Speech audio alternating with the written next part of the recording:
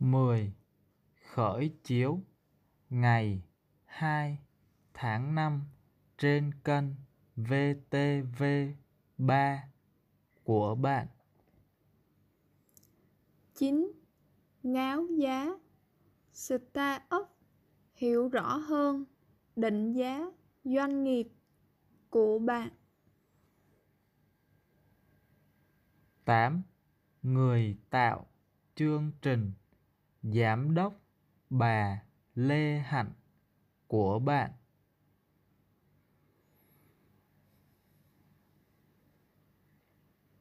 bảy Bản quyền Sony Pictures Công ty TV hút sản xuất của bạn.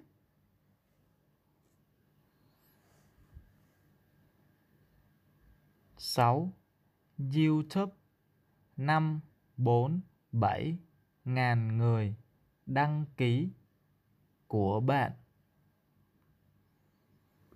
5.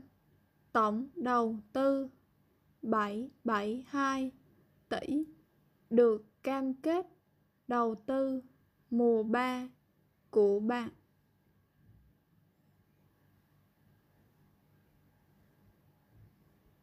4.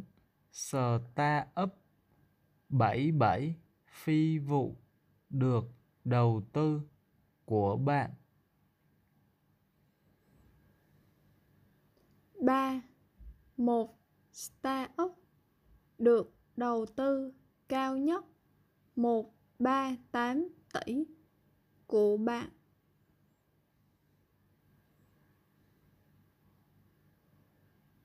2 mục đích, khơi dậy tinh thần khởi nghiệp của bạn.